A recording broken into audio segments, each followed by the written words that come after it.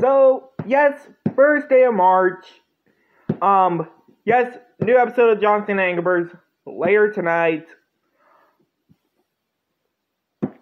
So let me tell you all this crazy thing. Okay, I've been up since 5 9:30 this morning. Uh, I had to brush my teeth because I had a dentist appointment, and um, won't go back till Thursday, a which it will be in two day, days.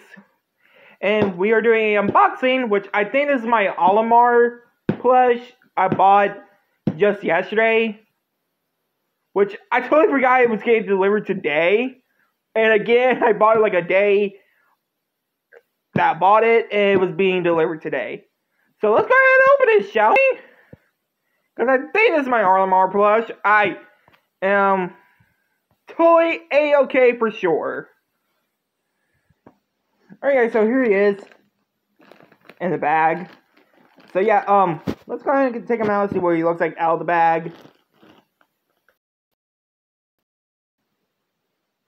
Alright guys, so here he is, uh, without the tags. So yeah, look at this. Very nice detailed. Very well detailed. And, wow, he...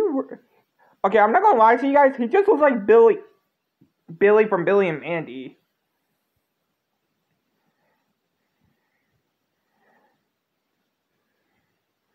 Got the little backpack on. And that is it. But um, anyway, guys, hope you guys like, comment, subscribe.